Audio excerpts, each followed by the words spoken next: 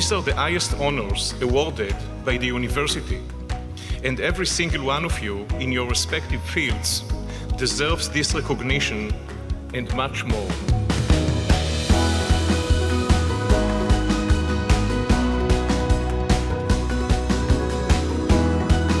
Senior Minister Tharman Shanmugaratnam, Professor Antoine Compagnon, Professor Barbara Engelking,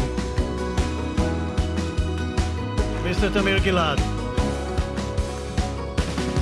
responsibility, innovation, excellence, and integrity. These are among the qualities of our 10 exceptional honorees whom we are recognizing tonight.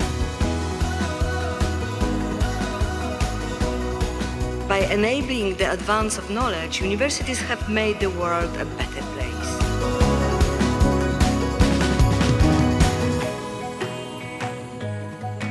Mr. Maurice Kahn, Mr. Atallah Mansour, Professor Nicholas A. Peppas, I see this award as a call to action to go further in building inclusive societies where every individual and group can flourish and contribute to the public good, regardless of ethnicity, gender, or social background.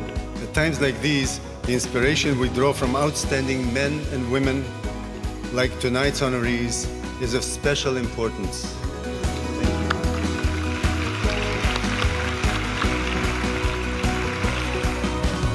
Professor Pavel A. Pevzner, Ms. Sandra and Mr. Vlad Shmunis, Ms. Olga Tokarczuk,